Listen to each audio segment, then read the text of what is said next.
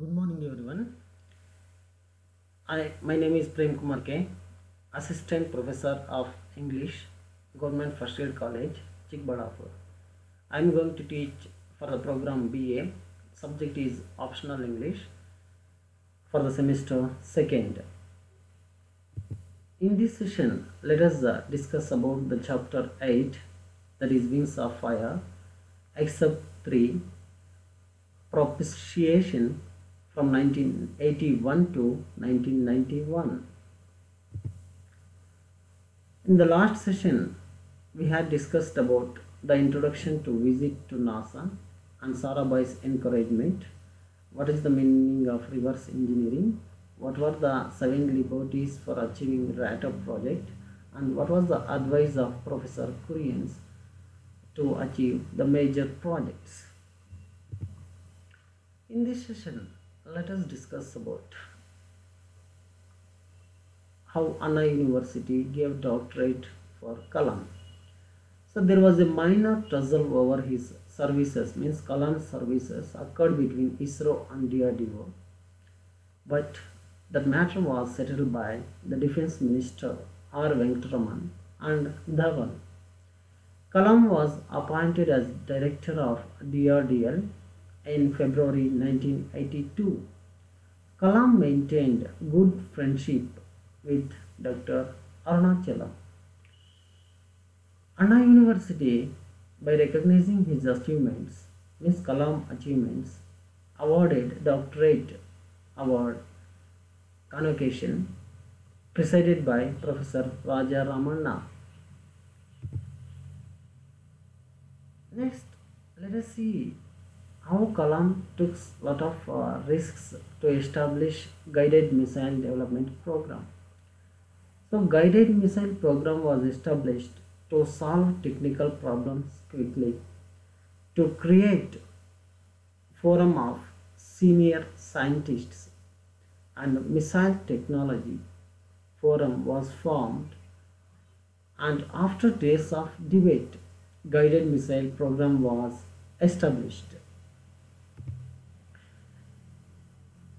helicopter arranged by defense minister to attend Jamila's wedding.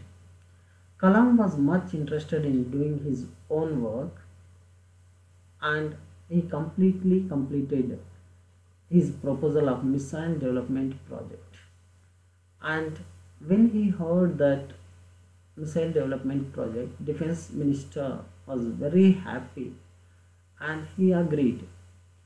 Defense minister approved the post of director at DRDL for Kalam and Dr. Arunachalam at the same time mentioned that Kalam had a, to attend the wedding of one of his cousins.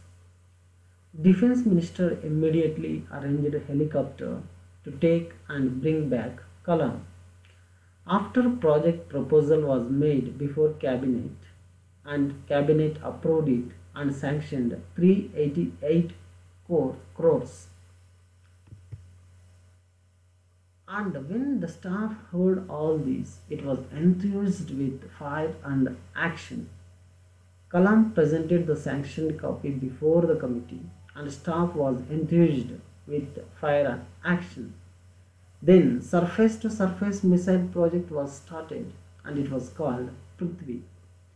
Tactical core vehicle was called Trishul and the surface to area area defense system was called Akash. Anti-tank missile was called Nag and the dream of REX is called Agni. And now there was a task before Kalam to select the leader and Sundaram was selected to look after Prithvi project and S.R. Mohan was selected to look after Trishul project and R.N. Agarwal was selected to look after Agni. Prahlad and N.R. Iyer were selected as to look after Akash and Nag respectively and V.K. Saraswat and A.K. Kapoor were made deputies to Sundaram and Mohan respectively. And what makes a productive leader in the words of Kalam? Let us see. According to Kalam, a productive leader must be very competent in staffing.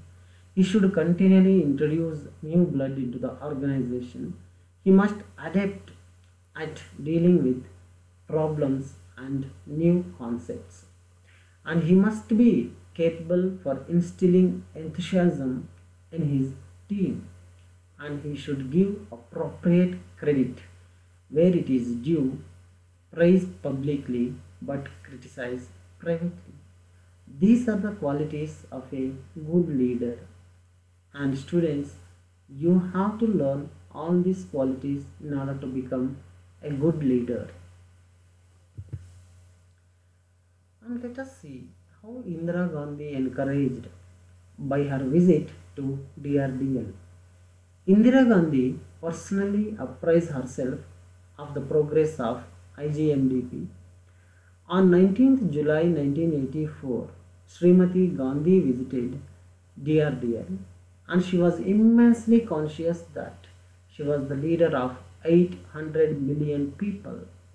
Every step, every gesture, every movement of her hands was optimized, and the esteem in which she held our, their work in the field of guided missiles boosted their morale immensely. And she said, Your fast pace of work is the hope of entire nation. And Kalam found four young brain, bright scientists. Professor M. N. Deshpande of the Indian Institute of Science found four young brain scientists working in the field of fluid dynamics. Professor I.G. Sharma of IISc developed a missile trajectory simulation software and Professor Bharti Bhatt of IIT Delhi developed ferrite phased shifters to track Akash. Professor Saraf of IIT Kharagpur with B.K. Mukhopadhyay made a millimetric wave antenna for the Nag seeker and Professor Pilani developed an IMPATT diode in consortium to overcome technological foreign dependence. Foreign dependence. And what are the successful successful outcomes by all these? So let us see one by one. The first one is goal setting. Means if you want to get success means you have to first set the goal. Then you must be very positive. That is positive thinking. And next you must visualize whatever you dreamed. So visualizing is one and believing so first you have to have the faith on yourself and Dr. Kalam inspired the young generation to question freely.